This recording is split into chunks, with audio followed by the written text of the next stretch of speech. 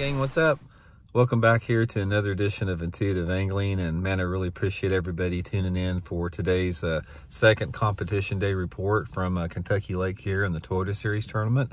Going to give you guys a complete rundown how my day in tournament went, and um, hopefully can help you guys catch some fish down the road. Um, real quick, guys, before we get started, I just want to invite everybody to please swing by fishthemoment.com and check out our lake map breakdowns. we got all of our spring maps up on the website now uh, including Kentucky Lake here. Get you some good spots on Kentucky Lake. And uh, these have every one of these breakdowns, we give you 40 GPS waypoints and tips and advice on how to fish them and duplicate them. And also, if we don't have a, a lake on the website you're looking for, you can book a virtual lesson with me and we can go over it and give you guys all the info you need on any lake across the country. So, but I'll put the Fish the Moment link in the description here. Okay, guys, second day report here. Um, if you guys saw the report I did yesterday, uh, super frustrating day. I should have had a solid bag of fish. Um, I had, I, I, hooked six keepers. I actually had them on, fighting them to the boat, and lost four of the six and only weighed in two fish. Should have had 14 pounds if I'd have got them all in. So I dug myself a pretty good hole, middle of the pack, uh, heading into today. Today I knew that I needed to catch a big sack of fish. So that was what my plan was. Now, yesterday, I'll, I'll tell you guys how I caught them. I started out yesterday, I caught two on the Megabass Mag Draft. I was basically fishing Main Lake Rocky Banks with it. And um, the wind came up super hard and almost too hard to fish it on the main lake. And I moved back into the pockets and I started fishing a floating worm, uh, sort of just going through, you know, typical spawning type areas and I wound up losing those four uh, good fish on the floating worm, which is typical. It's it's common on a floating worm because a lot of times, um, the, when a, when the bass bites a floating worm, they have to get it just right to get hooked a lot of times, and sometimes they're hesitant. And they get part of it, and sometimes you got the worm bunched up in their mouth. And uh, as it turned out, you know, I lost all the, every good fish that had that hit me on it. So I knew that just from what I saw in practice and what I saw in the tournament, I knew the floating wormfish, they were basically, there, there, there was basically males up there. You know, I didn't see any big females up there. So I made the decision today, knowing that I had to have a 17, 18 pound bag of string, a bag of fish to get caught up. I made the decision to stay out and fish the big swim bait all day long. And that's what I did. I didn't throw the floating worm hardly any at all. And I felt that if I stayed with the big swim bait, I'd have a, a good chance to, to catch a good bag. So anyway, right off the bat, conditions this morning, it was raining all day long. I was, I'm, it feels so good to be dry now. Soaking wet. By the way, I've never found a rain suit, guys, that ever keeps me dry in a hard rain all day long. If you guys have, I don't know what it is, but I have yet to found one. So anyway, um, raining all day long, cloudy and windy. So I started out right off the bat, you know, I caught a good keeper right off the bat in the mag draft. I went around to the next bank that I'm going to and catch another good keeper. So first 20 minutes, I got two nice keepers in the boat and I pulled my third stretch on there and I'm fishing down this stretch and I'm reeling the mag draft in and it's about probably 10 foot away from the boat.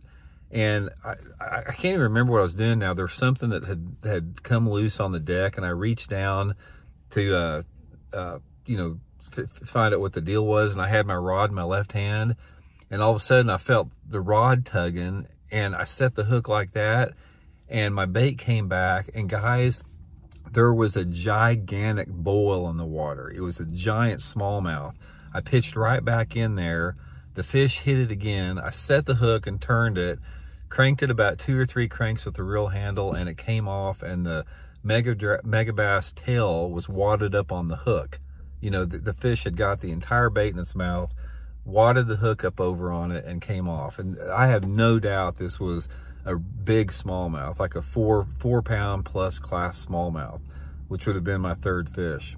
Just a freak deal. I just, I, I, what's the odds of that thing hitting when I wasn't even looking at the bait before? So, um, so right off the bat, the first 30 minutes, I'm pretty optimistic. So I've had a big smallmouth on and got two keepers in the boat. And then we started fishing, you know, all through the rest of the stretches I was fishing. And about probably another hour into the day or so, back on this different se section of Rocky Bank and I'm reeling the mag draft through there. One pounds it like that. And I set the hook, guys, and it's like setting into a freaking ton of potatoes. This was a super heavy fish. And I'm fighting the fish. I've got it, I've got it about probably five feet away from I hooked it. And my rod's all bowed up. And I can tell this is another big smallmouth. The thing just pulls off underwater. So it's like, God, you got to be kidding me. You know, that's been four right there with two really solid ones like that. So this was about probably 11 o'clock or so in the day. And just started running the same stuff. Stayed on the main lake. Um, about another probably two hours later in the day, I hooked one about two and a half pounds and it jumped off. So as it turned out, I had, um, see, uh, one, two, three. Yeah, I had, I, cut, I had three good ones on. I had three three good fish on and lost three, caught two, would have had a limit on that. So as it turned out, only caught those three. No, I'm sorry, I caught one other keeper later on. So it gave me thir a third one. I forgot about that. So uh, at the end of the day, I weighed in three fish that weighed six pounds and something. Uh, highly disappointing. But guys, here's the overall story of the tournament. It's like, and this is what you can remember and take away from this. Even though I finished middle of the pack in this tournament. It was highly disappointing. I had the fish on to be fishing tomorrow. I had the fish on to make the cut. I mean, I had a solid 14 pounds today. If, if I figure both of the, say both of those big smallmouth that were hit were just three and a half pounders a piece, that gives me another 13, 14 pound bag.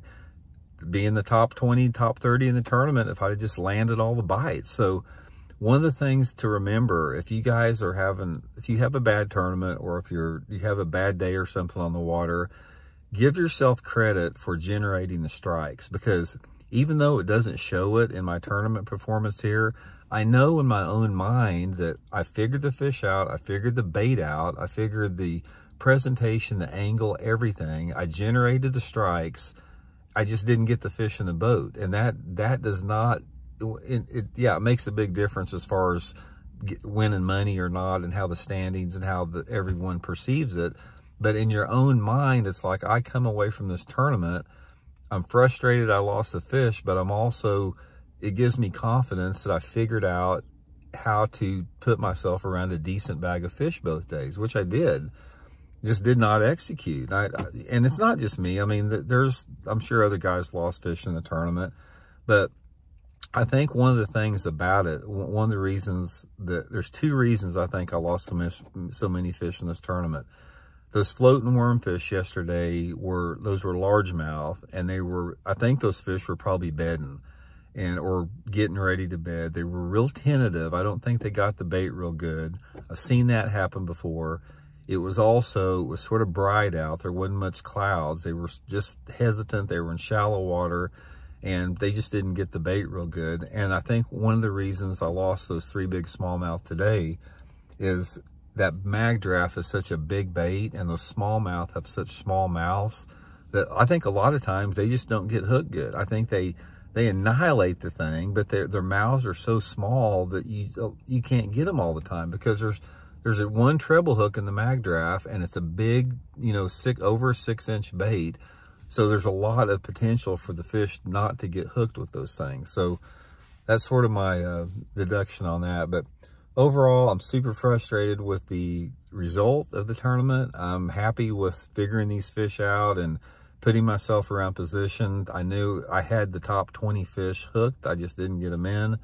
But that's just tournament fish, you know, that's the way it goes. So Anyway, guys, I hope you all learned something from it. Much appreciated you guys uh, watching all the videos this week about the tournament. And uh, like I said, shoot me some comments if I can help you guys out any. I'd be glad to do it. So thanks for tuning in. See you.